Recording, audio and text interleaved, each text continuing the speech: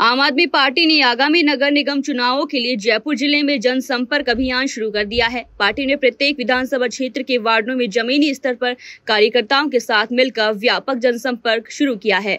जयपुर ज़िले की नई कार्यकारिणी के नेतृत्व में पार्टी ने अपने मज़बूत कार्यकर्ताओं की टीम के साथ इस अभियान को तेज किया। जयपुर ज़िले के जिला अध्यक्ष अर्चित गुप्ता ने बताया कि पार्टी ने विधानसभा चुनाव में मजबूती से मुकाबला किया था। लेकिन भाजपा द्वारा पार्टी के वरिष्ठ नेता और दिल्ली के मुख्यमंत्री अरविंद केजरीवाल की गिरफ्तारी के बाद पार्टी की सक्रियता कम हो गई थी। अब पार्टी ने पुनः अपनी गतिविधियाँ शुरू कर दी है और जमीनी मुद्दों पर काम करने का संकल्प लिया, जिसका असर आगामी नगर निगम चुनाव में दिखाई देगा। पार्टी के मीडिया प्रभारी पवन देव ने कहा कि सभी विधानसभा क्षेत्रों में कार्यकर्ताओं की मीटिंग आयोजित की जा चुकी है। अब जमीनी मुद्दों को बड़े स्तर पर जनता के सामने लाया जाएगा। उन्होंने बताया कि पार्टी ने आगामी पार्षद चुनाव की तैयारियाँ भी शुरू कर दी है। आपका लक्ष्य जयपुर हेरिटेज और ग्रेटर निगम में बोर्ड बनाकर भाजपा और कांग्रेस के वर्चस्व को चुनौती देना है।